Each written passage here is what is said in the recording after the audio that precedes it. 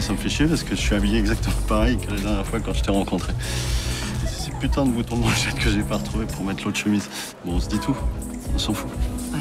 Tu t'es pas dit, mais ce pauvre mec, il avait qu'un seul costume pour sortir ou quoi? Non. Non? Enfin oui, j'ai eu cette idée un quart de seconde. Mais je me suis dit aussi, vraiment, il est classe cet homme-là. Carrément. Bah si on se dit tout, carrément. Je te drague pas, hein, tu sais ça. Moi non plus. De toute façon, mon seul tabou, c'est l'homme marié. Bon alors vas-y, raconte-moi toute ta vie. T'es un mec Ça, t'as des enfants, je sais. Mais tu vas où en vacances? C'est quoi tes passions? Je veux tout savoir, c'est atroce. Euh, alors, euh, je n'ai plus d'homme. Je viens de rompre à Rennes, justement, avec un homme. Enfin, un jeune homme. Jeune? Quel âge? 25 Ah quand même Mais oui, mais je Madame. me fais draguer que par les jeunes, va comprendre. Mais parce que tu leur fais peur aux autres. C'est fou ce que tu me plais, c'est dingue. C'est dingue. Heureusement que tu me dragues pas.